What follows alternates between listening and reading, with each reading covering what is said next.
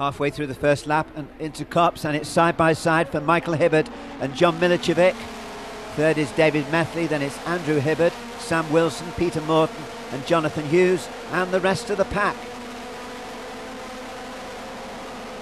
Some 50 plus competitors in this race, one of the biggest fields we've ever seen of historic Formula Juniors.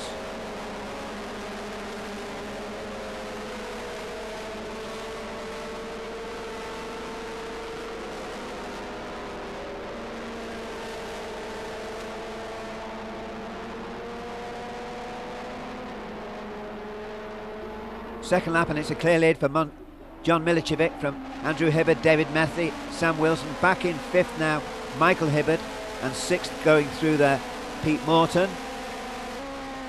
Number 11 is the U2 Mark II of Will Mitchum, running in class B2 in 20th place.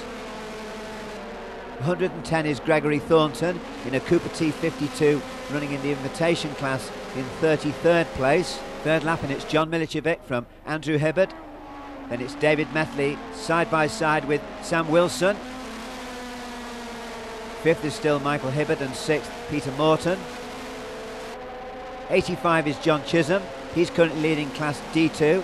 He's followed through by 83, Dennis Welch. They're currently 13th and 14th overall.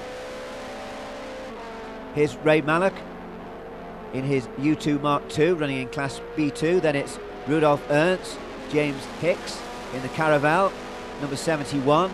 That's 23rd, 24th, and 25th.